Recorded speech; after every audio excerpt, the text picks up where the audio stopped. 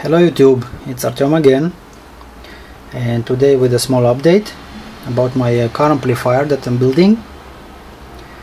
Currently it looks uh, like this, still in uh, building stages of it, uh, still looks uh, pretty messy, only with the, um, with the heat sinks and uh, without any connectors, just a few heatsinks screwed to get together to make a, a base of, uh, of the amplifier.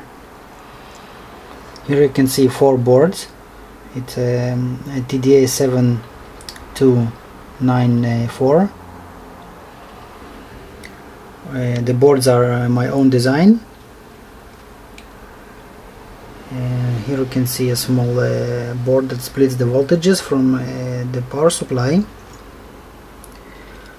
here you can see the MOSFETs and the diodes of the switching uh, power supply that uh, are isolated of course. Okay.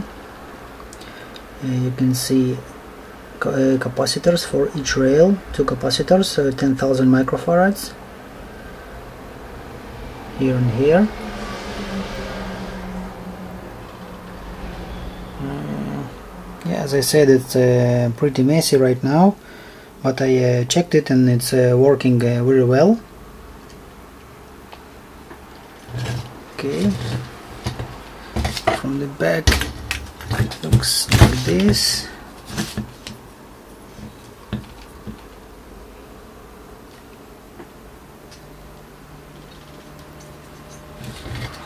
Still a lot of work on, uh, on this amplifier but um, slowly it's uh, advancing. I hope I will have enough time to finish it in a few months. Um, okay that's uh, basically it. Uh, one small thing uh, uh, the boards that I'm using here on the amplifier it's these boards. I have a few of them ordered from a China manufacturer 20 boards I ordered. Really nice.